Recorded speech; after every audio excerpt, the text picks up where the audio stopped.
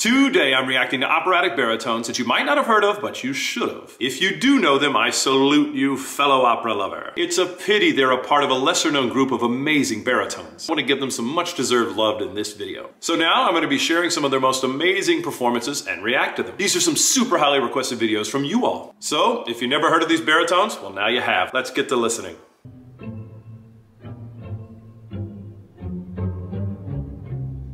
Handsome devil, look at him. Very debonair. Tutto è deserto, né per l'ora ancora suona l'usato carne, in tempo io giungo. Damn! What a voice! Lots of Dimitri tones, sort of Leonard Warren, darkened, honeyed tone.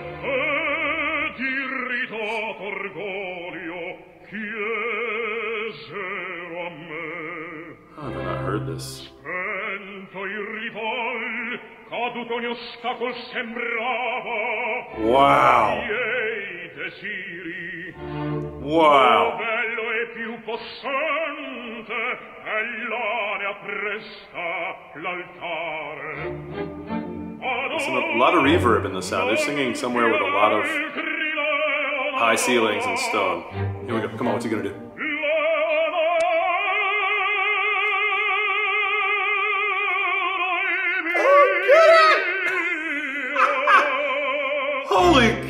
That was awesome!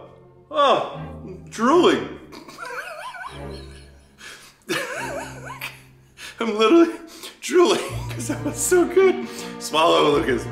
Okay.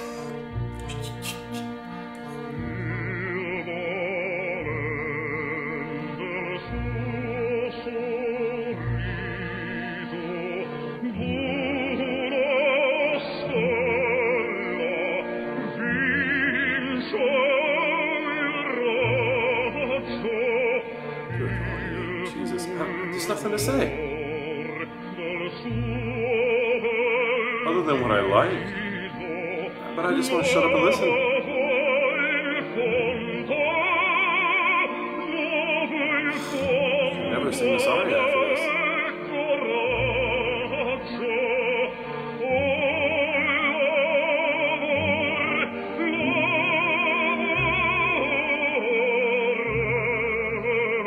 Listen to the spin. The vibrato never quits. The spin, the legato never ends. Listen to his beautiful Italian diction, but not too much. And he just feels it in his heart. I believe everything he says. I believe everything, every sound that comes out of his mouth.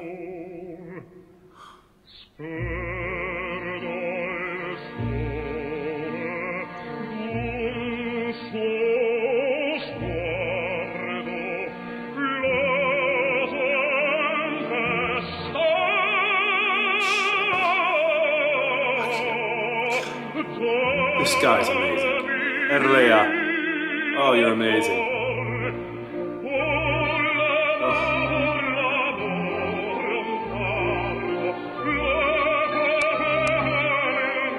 I'm literally just looking at the same picture of this guy the whole time with my mouth dropped open. I'm not even watching him. It's not a video. That is not easy to do. This is a hard aria, by the way. Doesn't sound like it when he's doing it. Still drill. Swallow! Sperdo il sole d'un suo sguardo,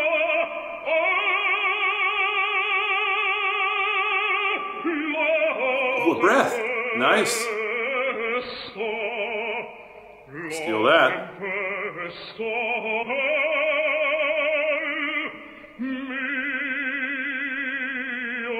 Oh, A new way of doing this aria now. Thank you, Evelia. Thank you. Listen to that. Oh my God, bravo. This is the reason I'm making this video, is because this guy is absolutely one of the best baritones I've ever heard. He's one of the best opera singers I've ever heard in my life. That is one of the best pure sounds I've ever heard. This guy should be on everyone's top 10 list. What a voice. Go out, get you some Herlea recordings, and just enjoy and try not to drool all over yourself like I've been doing listening to him. This guy's fucking amazing. I, I, I am so impressed. You know who he reminds me of? Artur Ruciński. Yeah. Yeah. Because Artur has a naturally dark darkened tone like that. You know, he's just really super talented. I wonder why he's not more famous too. I mean, I'm sure I'm sure somebody out there enlighten us, please, in the comments. Let us know why Herlea is not 50 times more famous than he is because he has the voice of a god. Please tell us.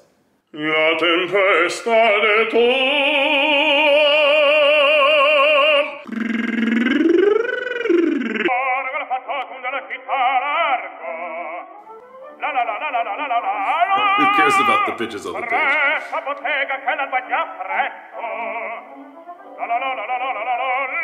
Ah, it's very legato. And very spoken. You, can tell that we're dealing with a true Italian here. Look at that. Look at that guitar. He's playing the, uh, the uh, tenor aria. That's his name. I can't remember Almaviva's name. Oh, nice G.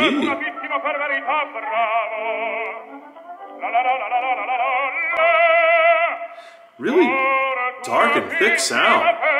And you can tell it carries in the house.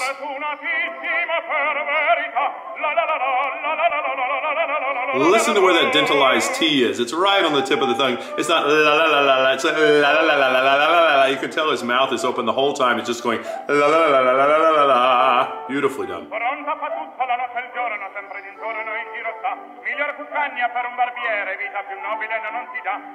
All of his consonants happen right on his teeth. I should have listened to see if he got all those pitches right. Hardly anyone gets all those little half steps right. Maybe not even myself.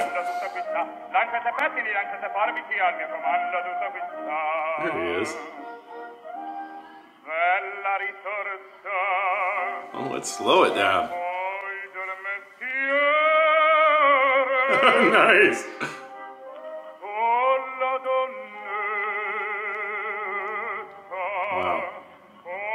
Much faster vibrato. That's also indicative of this time period, is that the vibrato spins a little bit faster. Lighter voices, faster vibratos is what you're used to hearing.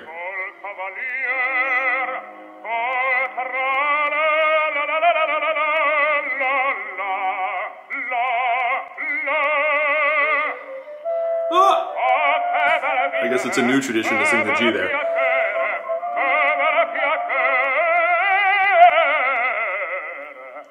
This just seems like he's falling out of bed doing this. It sounds like such an easy aria when he, you listen to him sing it. It just sounds easy.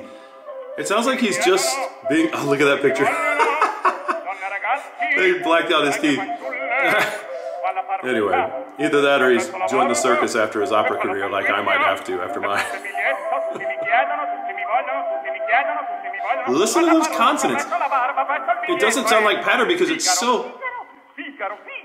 Figaro, Figaro, e Figaro, Figaro, Figaro, Figaro, Figaro, Figaro, Figaro, Figaro, Figaro, Figaro, Figaro. Nice. una lavata, una lavata, una lavata. Hardest part of the aria for me is right there. Because it's right in the crack of the passaggio, right in the middle of the passaggio, going in and out just in those little half steps. Figaro giù. Figaro giù, Figaro giù, We're already speeding up.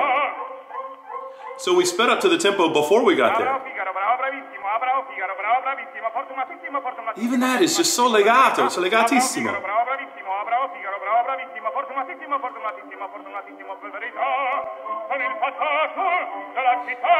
So that's fun. I want to do that. God, please.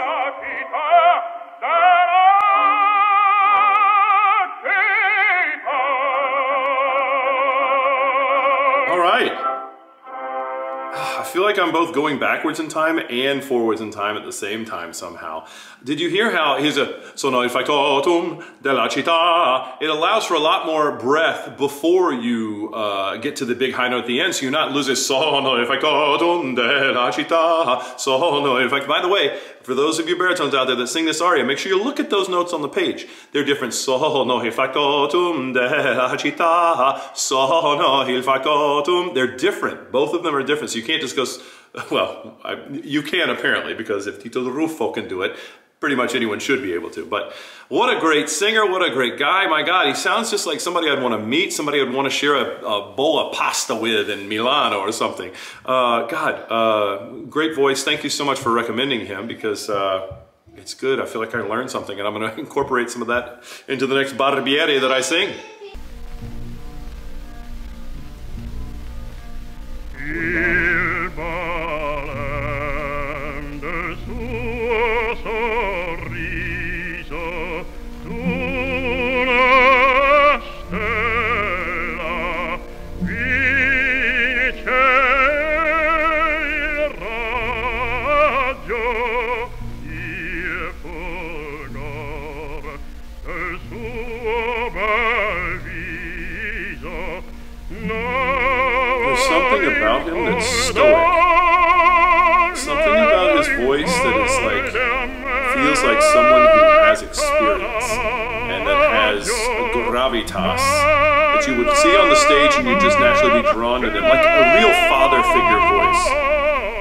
what I hear in his voice and his sound.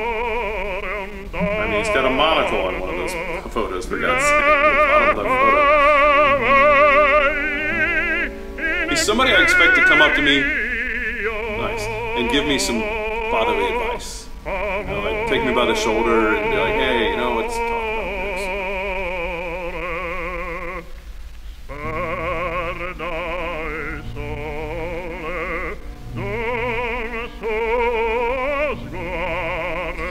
Nice modification on the. You can tell he's keeping open in the back the entire time. Little climb up to the top. I don't hate it.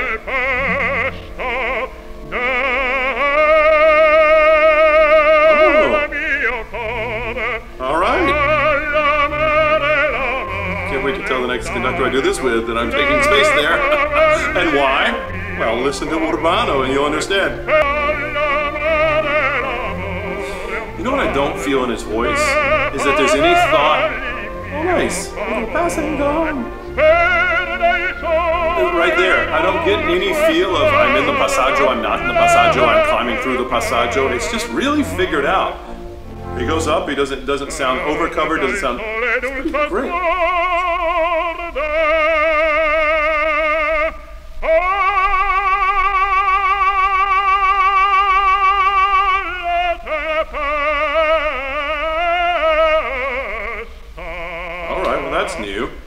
For me, it's old I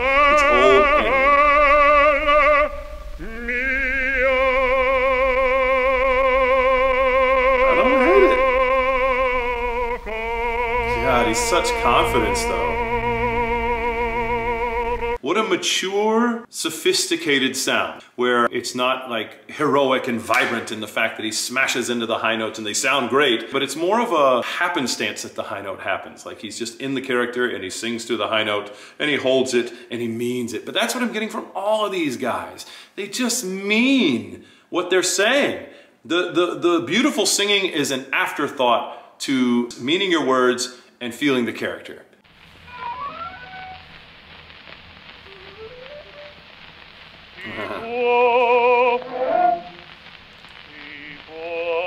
First off, light. So light compared to what we're used to hearing. Ah, Battistini. Okay, okay.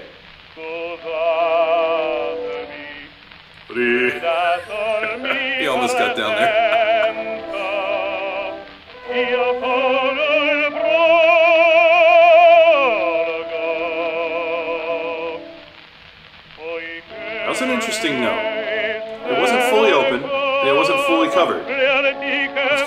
The crack, like he's just his own special master of his voice. And also, if you listen in the background to the orchestra, it's a lot more sort of pizzicato in the woodwinds than it is these days. It's a little more legatissimo here, traditionally. That's interesting though, because it speaks a lot to how art and music develop over years and years, because obviously we know, we know Pagliacci by Leoncavallo, and uh, we, we have an idea of how it goes, but when we hear it closer to the time frame when the composer wrote it, it's it's a totally different beast and you start to think well how how have we decided that the voice type that sings tonio is like a verdi baritone almost dramatic baritone? It's a it's a lot more thicker richer and bolder of a sound now than apparently leoncavallo probably wanted. So i guess i've got a lot of tonios in my future. You can tell he's, he's got some uh, difficulties with the bottom range. It's a little but what I like about his bottom range is he's not sacrificing uh, his forward placement for depth in the lower. He's just saying, these are my low notes, take them or leave them. Ah, instead of oh, trying to over darken it.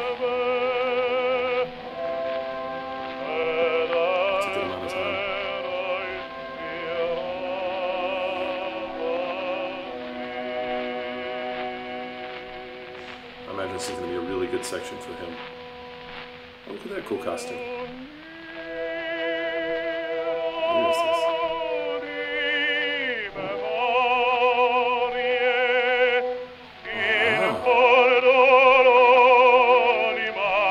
What I'm wowing is how perfect his voice is for this section. I was right. It's just beautiful, legatissimo, light but spinny.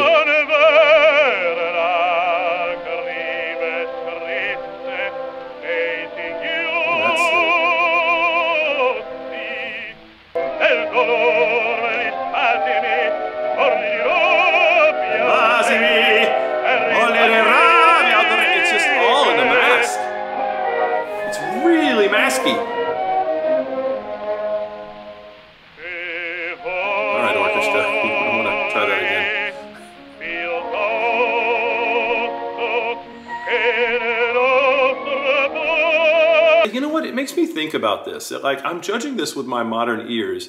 It makes me think that maybe what they did really right back then was meant what they did. Because as I'm listening to this and as I listen to Tito Ruffo, they are just so, they, they, they, they're not even acting the characters, they just are the characters. They're just being the characters without worrying too much about vocal stuff. They're, it's like, they're like, oh yeah, this is just how I sing down to my lower notes and this is, this is my voice. And I, it's more important to them, it seems, to be so in character. And with the orchestra as well, it's not so exact. Ah, it's not so exact. You get a pureness out of it that you don't normally feel. There's something about this that really is moving me.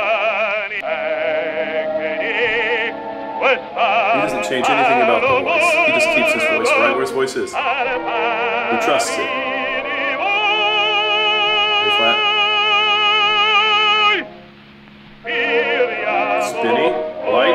Tenorial in a way.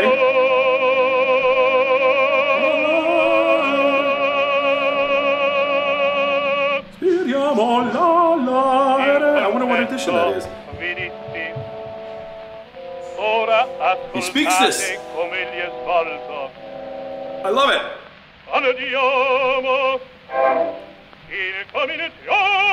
He spooked that.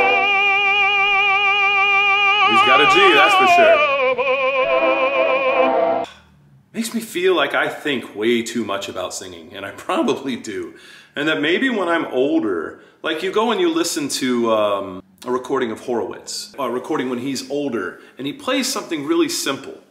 And you hear him at the piano, and, and what you hear is not necessarily individual notes on the piano. What you end up hearing is decades of musicality. It's where it's almost like, of course he's going to play the right notes, so just be in the moment. That's what I'm feeling from these Golden Age baritones, is that they capture a moment. Rather than making a perfect representation of musicality and their voice and saying, oh, well that note, I wasn't, I was a little sharp on that. Oh, I could have, I could have sung that a little better.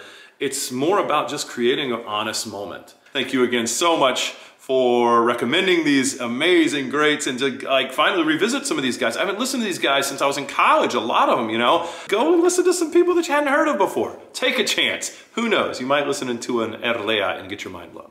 I learned something today. I learned a lot today, actually, so I hope you did too. And subscribe to my channel and we'll keep learning together.